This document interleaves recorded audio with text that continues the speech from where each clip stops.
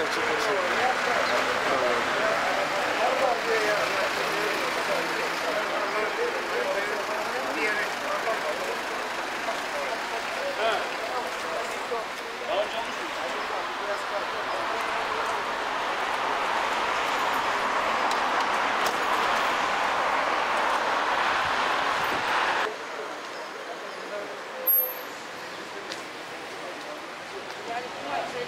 Gracias.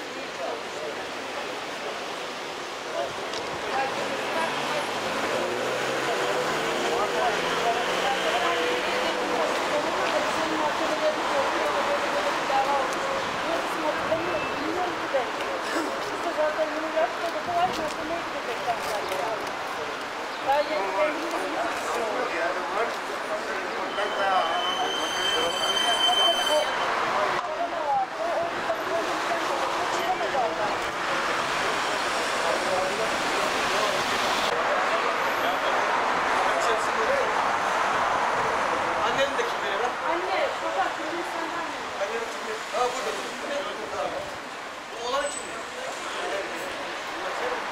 Bey, senin mahkeme mi vardı? Mahkemem var efendim. Ha- Haberim var. Kağıdı da cebimde. Ben dilekçe yazdım Haziran oraya. 26'sında diye gidecekti.